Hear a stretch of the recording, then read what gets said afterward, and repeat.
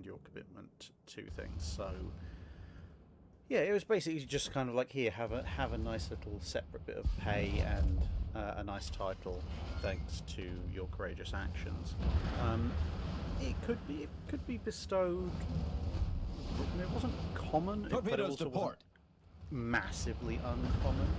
And the other thing you have to remember is that whilst there is a degree of friendly rivalry between various armed services, the degree of rivalry between the Royal Marines and the Royal Navy is nothing like the um, occasional antipathy, shall we say, between the US Navy and the Marine Corps.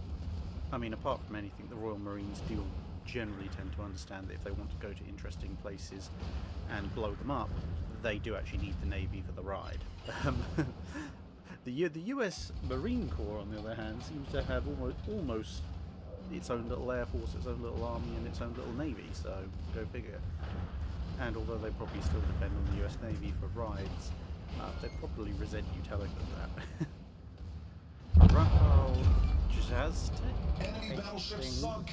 sorry, um, asks, how do Polish Grom-class destroyers compare to other nations' destroyers when they were commissioned and at the end of the war? Complete random side note, and this may just be me being a bit weird, but whenever I see the name uh, Grom-class destroyers, I don't know, for some reason mentally I, I want to stand there like an orc at the Battle of the Pelennor Fields and except instead of yelling Grond, I just want to go Grom, Grom, Grom. Um, I may be Enemy destroyer sunk. Anyway, uh, the, the Grom class, when they are Battle ends in five minutes. commissioned, they're actually pretty darn Torpedoes, powerful. direct front. Um, they're very heavily armed for destroyers. They're pretty large for destroyers. They're also very fast. Um, they've got decent torpedo set. Hmm, it's like what's not to like. Um, they're not perhaps the world's best anti-submarine destroyers, but well, they're quite obviously fleet destroyers, so that's probably not necessarily um, a massive black mark against them. And of course, as with almost all uh, destroyers of the period they're Our commissioned, victory is in sight. aircraft capabilities, especially in terms of direct self-defense.